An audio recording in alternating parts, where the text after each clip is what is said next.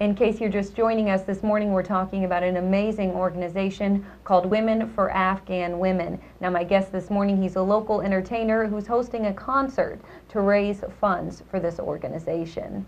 Bobby, before we went to break, you were kind of explaining your role as to how you got involved with this organization. Uh, yes, it, it had to do uh, actually with an idea for a screenplay.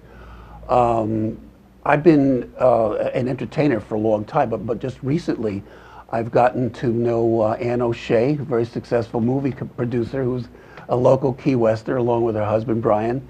And uh, she uh, is uh, producing a uh, film by Quincy Perkins, a local movie director and writer, of which I am co-producer. So this kind of has put my focus into the movie business. I've been writing screenplays for about 25 years. Mm -hmm. And just something that I saw on the internet back in May, which really has nothing directly to do with the subject, but it provided an inspiration for a story. And the story uh, takes place in Afghanistan during this war, and an important part of it has to do with defending a girls' school against attacks by the terrorists who are trying to destroy it, because they don't want women to get education. They want women to stay subservient and not to be equal. This is a very powerful force that women are struggling against. Right. So as I just started to develop this story, I mean, the, the ideas just flowed like water. An inspiration like this is rare. Mm -hmm. And I know, I've been writing for a long time, and wow, boom, boom, boom, page after page, you just knock it out. And this country, it, we know very little about.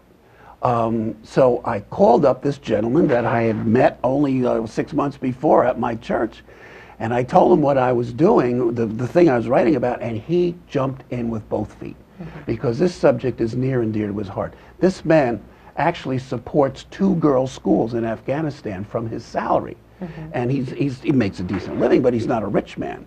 This is a real commitment on his part. So he, mm -hmm. he actually came down here and spent considerable time in the month of June with me uh, filling me in on aspects of the culture and the language. You know, if you're going to set a story in a place, you better know something about it. You know, and and we know so little about this country. Mm -hmm. So um, this put me in touch with the uh, the whole situation. It was he, Farid Osman is the man's name. He told me about the work of uh, Women for Afghan Women, and also in particular the case of this little girl named Sahar Gul the most of the pictures that you see where she really looks badly beaten are like that one. -hmm. uh, those are the before the pictures when she was first brought in after she was found in this uh, basement. And then the there's another one where she's looking down. She has this shawl over her head. That is the That's recent the photograph. That's the after after she's been in the care of this organization mm -hmm. for a couple of years. There's another very good example. Uh, there was a beautiful Afghan girl on the cover of Time magazine two years ago with the tip of her nose cut off. Mm -hmm. She tried to run away from an abusive husband and she was caught and her nose and ears were cut off as punishment. She was left to die.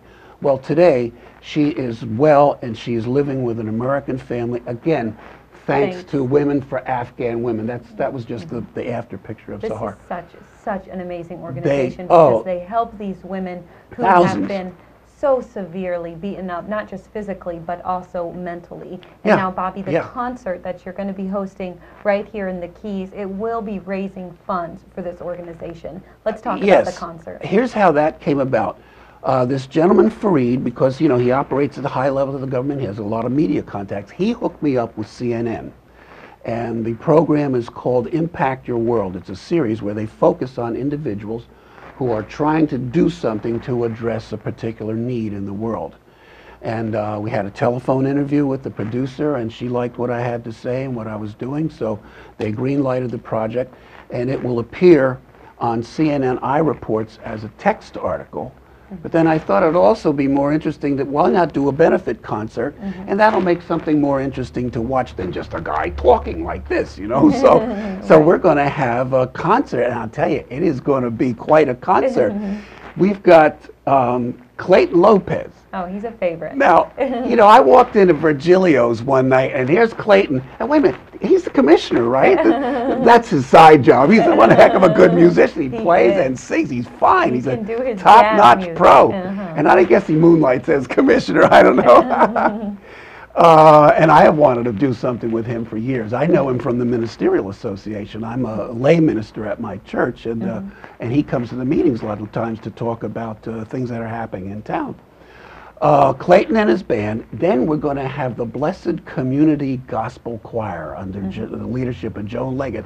20 voices. Going to raise the roof in that church. No, you will, Bobby, you And, will. and I've got the, we've got this nice Allen church organ with about 400 watts of power, you know, so we are going to rock the, wa- I like to play it loud, and uh, we're going to rock the walls. And when will this be? This is this coming Saturday night, September the 8th at 8 o'clock. It's at the First Congregational Church, which is uh, an old red brick building with a steep peak roof right in be- uh, between Fleming and Southard Street. Uh, it's 523 uh, William Street, but you, you can't miss it. It's a short block and it's right in the middle. And of course, everybody in the community is invited to this, so hopefully they can make it out this Saturday night. Mm-hmm. Yeah. And Bobby, I know that we'll definitely have to be having you back on to talk more about this organization Sure. and the funds that are hopefully raised this weekend. There are a few more guests. Do we have time to mention them? Yeah, Howard Livingston. Okay. Th- This man, talk about charity. This man has raised so much money for charities. It's, it's wonderful. He, he's a dear friend. I played in his band for a couple of years, and even back then, when the band was just getting established, we did benefit after benefit, and he would pay the musicians out of his own pocket. He is a very generous, good-hearted man. Uh, Gayla Morgan is going to play the violin solo on this beautiful song that Howard wrote about the passing of his father.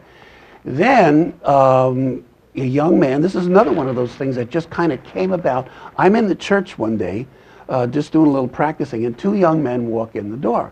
One is a member of the Pinder family, which is an old Key West family, Right. and he's had a friend named George Natal with him.